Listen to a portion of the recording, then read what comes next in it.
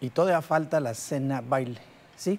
Así como usted lo escuchó, desafiante, el exdirector de esta institución, Alberto Montalvo, y esposo de la directora Yasmín Cervantes, pues eh, así se dirigió a los medios de comunicación. Dice que los estudiantes pagaron 7 mil pesos por el baile de graduación, el cual está programado y según él dice que sí se va a realizar.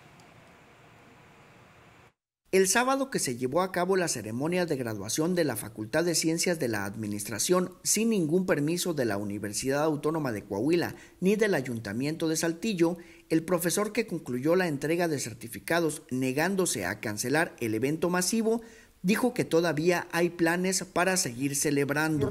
Que este evento se compone también de otra parte que no tenemos nada que ver, que es de su cena baile. Y esa cantidad que usted me dice muy seguramente corresponde a lo que ellos pagaron por su cena baile y que ya les dijeron... ¿Se estaría realizando qué día? ¿Mande? ¿O que se estaría realizando qué día? Pues ya con la autorización creo que ya están en posibilidades a partir del próximo lunes. Al consultar con padres de alumnos graduados, manifestaron que la mayoría ya pagó alrededor de 7 mil pesos pero otros hasta 15 mil pesos por dos mesas para la cena baile, pero que no les han dicho cuándo se va a realizar o en qué salón. Uno de los padres de familia que pidió el anonimato señaló que alumnos ya pidieron el reembolso, pero se negaron con el pretexto de que todo está contratado, salón, banquete y música. Telezócalo consultó salones, palapas y centros sociales de Saltillo, pero ninguno aceptó tener ese contrato con los organizadores de la cena baile de la FECA, alegando que ninguno tiene permiso para realizar eventos de esa magnitud.